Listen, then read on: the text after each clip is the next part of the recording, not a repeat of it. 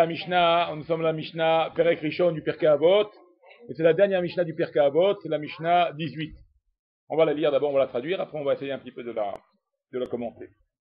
Rabban Shimon Ben Gamiel Omer, Rabban Shimon Ben Gamiel nous dit, Al Shosha Devarim Aolam Omed, sur trois choses, le monde tient.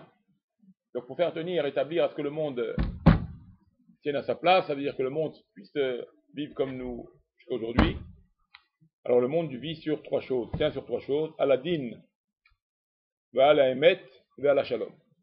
Sur le din, sur la justice, sur le emet, sur la vérité, va à la shalom et sur la paix. Chez Nehemar, comme il est dit, emet ou mishpat shalom, shiftu besharechem. La vérité, le mishpat, donc la justice, et le shalom, shiftu besharechem, mettez-le en vigueur, mettez ces trois choses en vigueur dans vos portes, dans vos villes afin que vos villes, vos, vos, États, vos villes, là où vous vivez, donc euh, ce sera quelque chose de...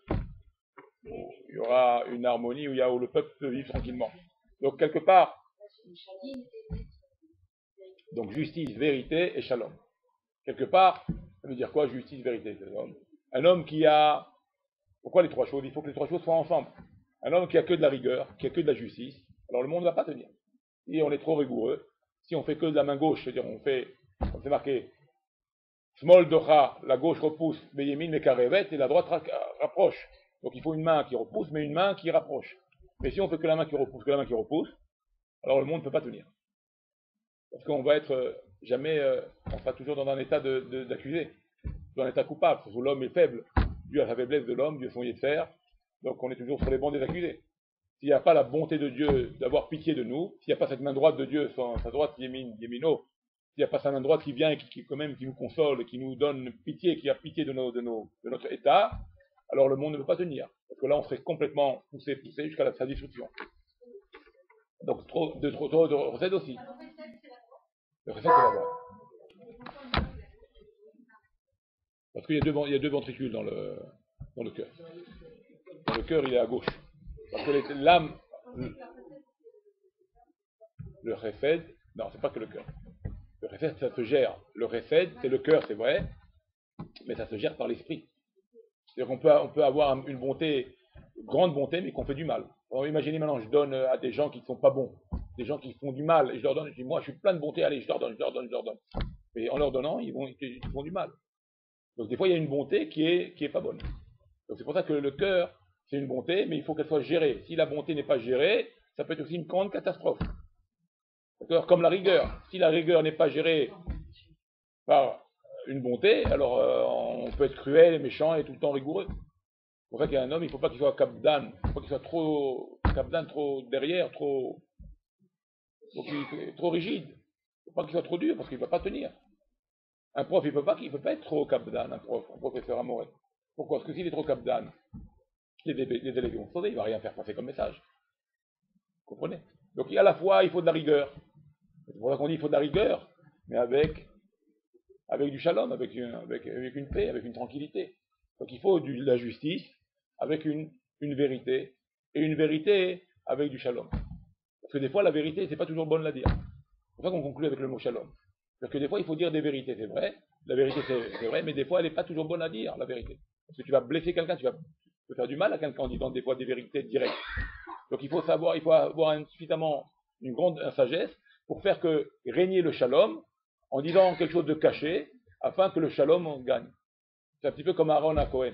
Aaron à Cohen, il avait cette particularité de, shalom. Alors qu'est-ce qu'il faisait? Il allait voir celui-là, euh, il y avait deux types qui étaient fâchés, il allait voir le premier, il disait, euh, il regrette. Alors il, trompait un peu. D'accord? Il regrette. Alors il dit, bon, il regrette, bon, alors s'il regrette, moi aussi je regrette. Il allait voir l'autre, il disait, il regrette. Et là, maintenant c'est vrai, il regrette. Vous voyez, donc il tirait à la fois pour tirer le shalom, parce que le shalom c'est l'harmonie, c'est l'ensemble. Donc pour arriver au shalom, des fois, il ne disait pas les vérités. Parce que s'il dit la vérité, il ne regrette pas. Bon, tu veux faire la paix, mais il ne regrette pas. Mais bien sûr, je ne veux pas faire la paix, il ne regrette pas, comment tu veux. Donc, vous voyez, des fois, les vérités ne sont pas toujours bonnes à dire. Donc, il faut savoir utiliser notre orma, à ce que la rigueur soit pas tout le temps une rigueur, à ce que le, le émet soit pas tout le temps un émet, d'accord, pour arriver justement au shalom soit un juste milieu dans la rigueur, soit un juste milieu dans le réfed, pour arriver à, un vrai shalom. D'accord? Parce qu'il y a aussi des shaloms qui ne sont pas des bons shaloms. Disons, on fait la paix. Mais quelle paix? Quelle paix de quoi? D'accord? Il faut une paix durable. Si c'est pas une paix durable, c'est pas une vraie paix. Donc il faut que chaque chose soit contrôlée par l'esprit, le shalom, la rigueur et le chesed, et, la justice. La justice, le shalom et, le émet, et la vérité. Tout doit être contrôlé. Si c'est une vérité qui peut blesser, qui peut tuer, qui peut faire du mal, je la dis pas. Ou je vais la dire d'une manière détournée. Si c'est une rigueur qui va être trop dure et que le type va tomber, bah, je, vais le briser en miettes, je ne vais pas le dire. Je vais le dire d'une autre manière. Si c'est un shalom qui fait que c'est une fausse paix, c'est une paix qui ne va pas durer, je ne vais pas cette paix-là. Je trouve un autre moyen comment arriver à ce qui vraiment il accepte. Donc voilà, c'est des conditions, ça, qui sont importantes. Donc justice, et shalom, et, et, et, et vérité. C'est trois choses là, ils tiennent le monde. Mais, mais avec ça, savoir comment doser la chose. Comment doser,